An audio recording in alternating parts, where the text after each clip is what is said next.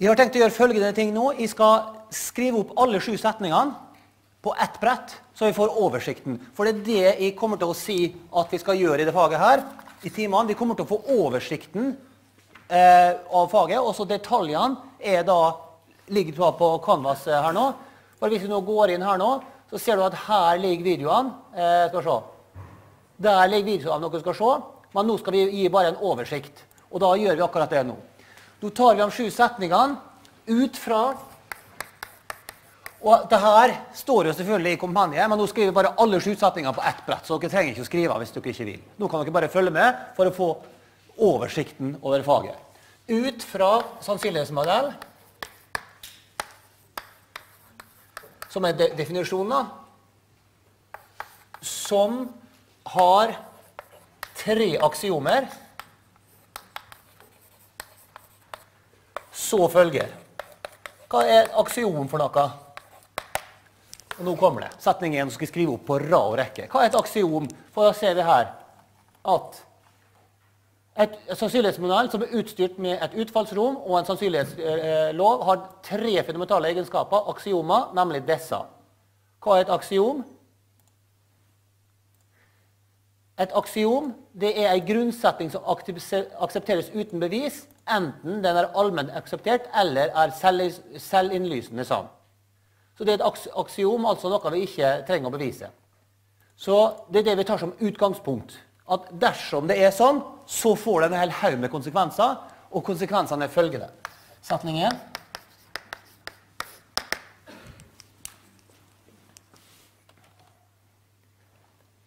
Sannsynligheten for den tomme mengde er lik null. Nå bare skriver du opp rått og brutalt og veldig kort. Tomme mengde er lik null. Det var setningen. Den var nå fin og grei. Bevis teknisk det hopper vi over. Setning to. Spesiell addisjonssetning. Setning to. At hvis og dersom Her er det forutsetninga. Anta at A og B er lik tomme mengde, som betyr ikke overlapp.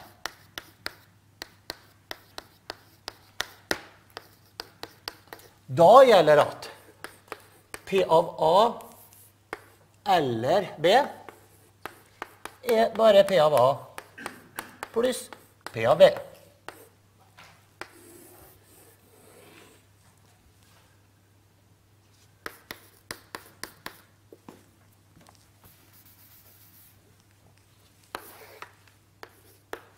Ikke overlapp. Det er spesielle adsetning. Spes oddsetning.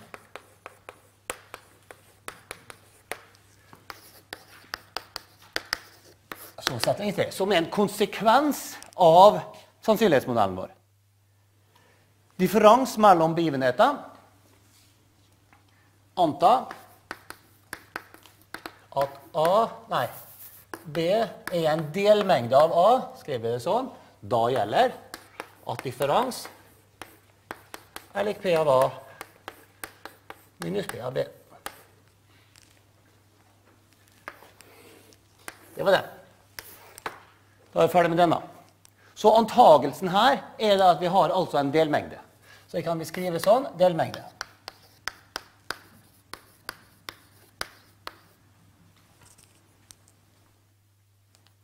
Bevis. Bam, bam, bam. Komplisert. Sånn er Venn-diagram. Veldig intuitivt. Neste. Setning fire.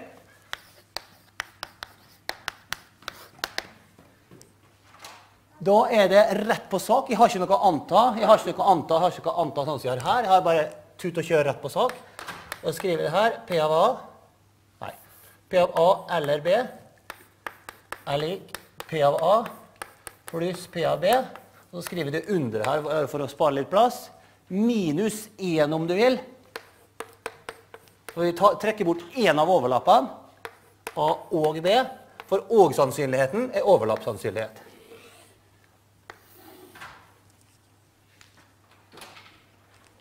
Så det her er den generelle adsetningen.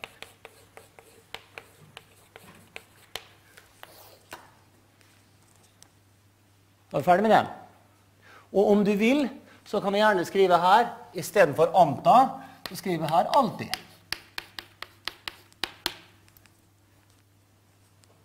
Altid. Sånn er det. Og ikke sånn. Den her derimot, med lillebroren, om du vil Lillebroren, den sier da at anta dette at det ikke er overlapp. Da gjelder. For da har, vi ikke noe overlappsledd. Overlapp. Sånn. Det er den karen der.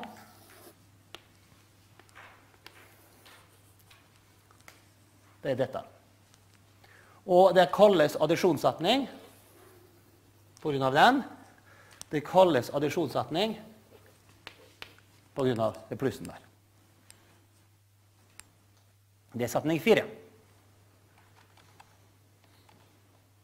Oi sann, det gikk litt fort. Setning fem.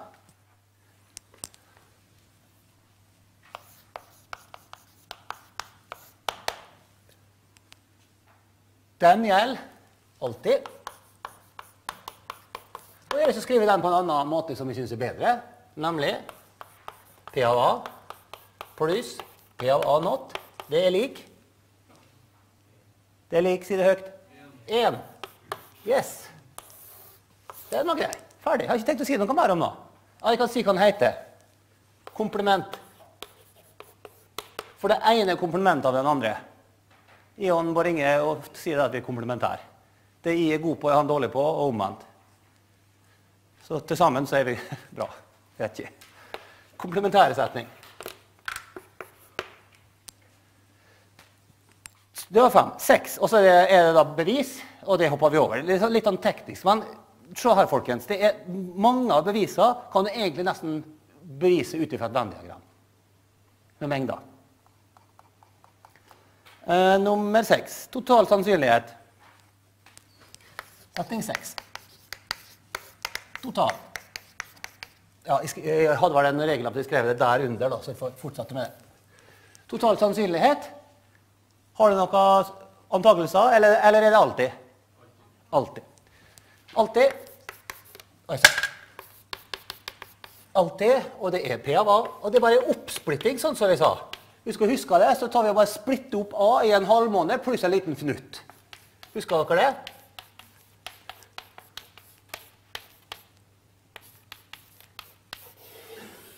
Men her skal vi faktisk bruke litt. Og da skriver vi navnet her. Eh, total sannsynlighet. Ikke alle som bruker det ordet, da. Så ikke alle som bruker det navnet. Og så nummer sju. Den har jeg bare tenkt å skrive opp kaller tvillingsetninger. Skal forklare hvorfor ganske snart.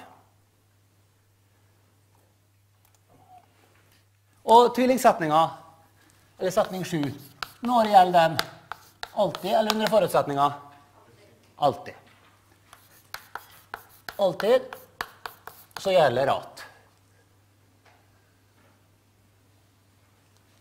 Kanskje vi skal skrive på en litt annerledes måte, da? Bare for å, bare for å se at det er samme tingen. Ja, skal vi skrive sånn. Det er bare P av A-not og B-not pluss P av A eller B er lik 1. Det syns jeg var bra.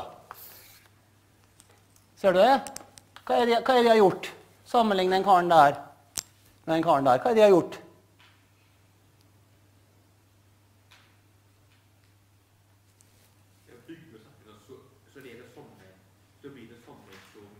Ja, jeg har bare flytta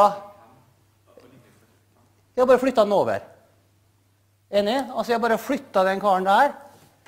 Skal vi se. Det eneste jeg har gjort.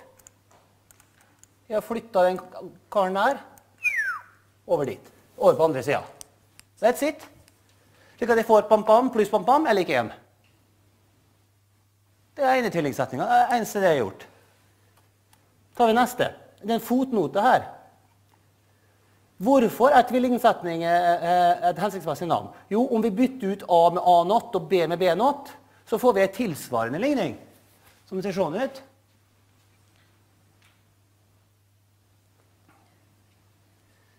Da får vi sånn som ser sånn ut, og så vil jeg snu litt på den der. Og så vil jeg si sånn P av A not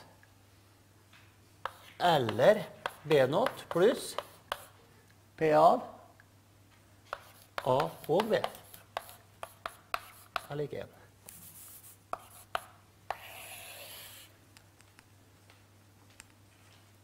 Ferdig.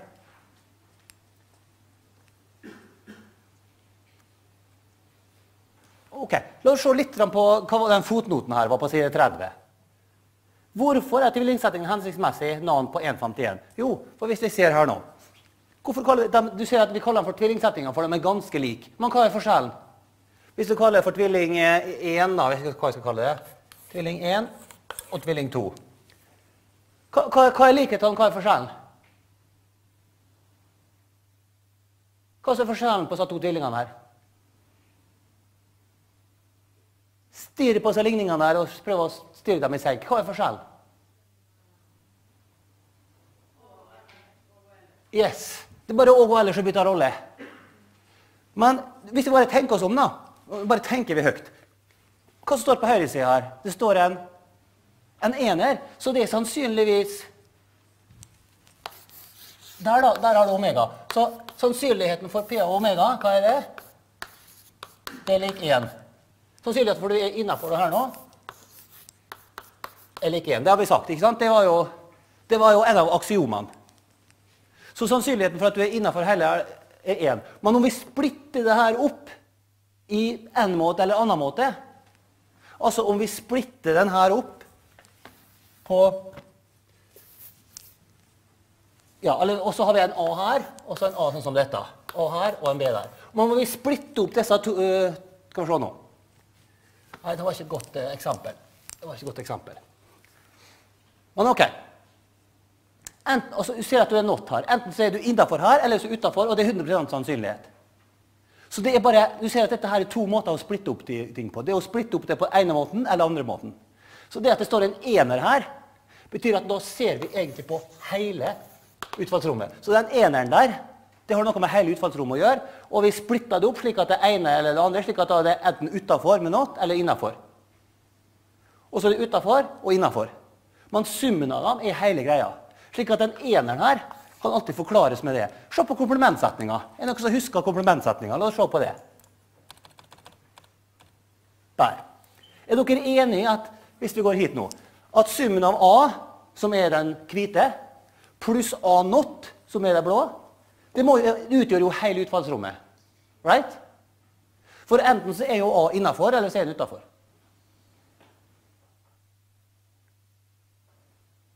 Så den eneren her det er jo bare det faktum at sannsynligheten for at du er innafor utfallsrommet, må være 100 for det var jo en del av aksiomene.